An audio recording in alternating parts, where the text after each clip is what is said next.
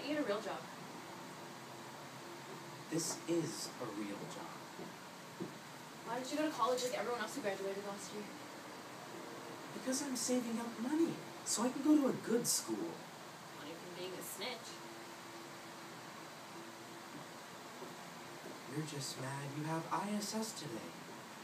Not my problem. Do you like having your own office slash dungeon where you can trap other kids you don't like? You read or something? Hmm? Wait. That, that's funny. I could have sworn I put it right there. My Sword in the Stone limited edition. Wait, did did you take my paperweight? You caught me. I stole your paperweight. Why? Because you're that one percent, or the man, or whatever. Remember your stapler that went missing? Took that too.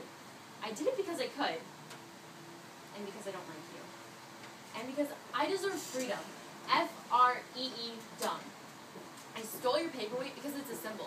A symbol of how you try to hold me down. Well, no one's gonna hold me down. I'm a bird, and I deserve to fly. Can you fly? No. Here. You can have it. Go throw it in a pond and make a wish that someday you won't care about stupid crap like paperweights.